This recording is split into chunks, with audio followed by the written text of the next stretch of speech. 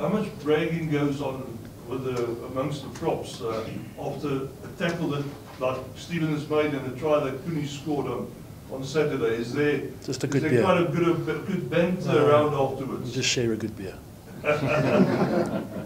I think um, the good thing is all the forwards that are here have been with the Springboks before. Uh, even the youngest one, Jean-Luc, was with us at the end of the year tour. So we've had a bit of continuity in work and in work detail from, from last year to this year.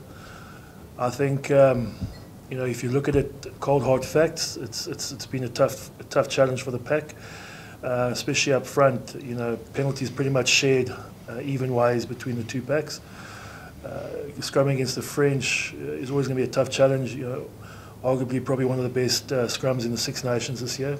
You know, we knew it would be a really tough challenge. Uh, we've we've worked from early on, from pretty much our first camp uh, with the front rows on on identifying areas that we can work on, and, and I think they've they've done really really well. You know, I think you could see Beast's emotion after that penalty that. Um, you know, we, we're getting better and we, we're starting to meet um, the objectives of, of, that we set out for ourselves.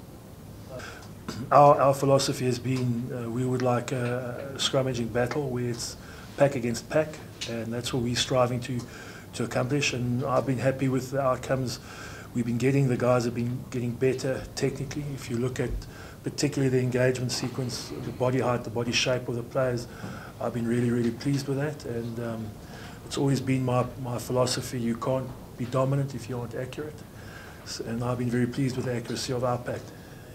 There's always been the adage that uh, you know props are intelligent guys because they're having to make split decisions based upon a lot of physicality in their face. And um, as I said, the, from the coaching perspective, when I look at it and I look at the decisions they're making, I've been very proud.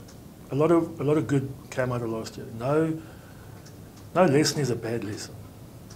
What, what we learned out of last year is priceless, and um, we've taken that on board. You know, and, and the, the, thing about the environment now is it grows from somewhere. And, and that's the important factor. Is this environment is growing from that. And um, we're thankful for the lessons we learned last year.